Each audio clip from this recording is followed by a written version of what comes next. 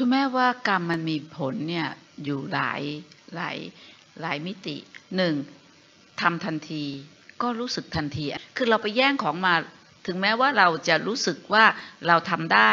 แต่มันจะมีความรู้สึกว่ามันก็มีความซื่อสัตย์ของผลแห่งกรรมคือลึกๆแล้วเป็นไงฮะ มีความสุขจริงป่ะ ไม่จริง เนี่ยเกิดทันที หรือว่าทำขณะนี้นะ แล้วสมมุติว่าเราไปนั่งกินข้าวกับใคร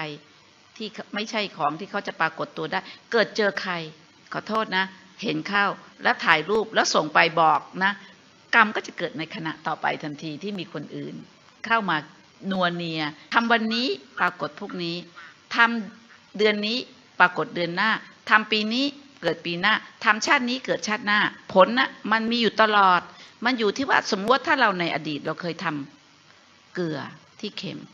แต่ปัจจุบันเนี่ยเราหยุดแล้วผลึกเกลือไม่มีแล้วแล้วเราก็เป็นน้ำดีเยอะ เราก็ทานศีลภาวนาแล้วก็ทำอยู่ในปัจจุบัน พอกรรมในอดีตมันมาอยู่ในปัจจุบัน ซึ่งเรามีน้ำดีเยอะ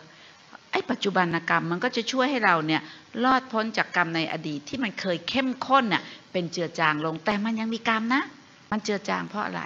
เพราะน้ำดีในปัจจุบันมันเยอะมันเราจะแก้กรรมในอดีตเนี่ยโดยคนอื่นไม่ได้ แต่เราแก้กรรมได้โดยทำกรรมในปัจจุบันของเราเนี่ยให้บริสุทธิ์ที่สุดนี่ไง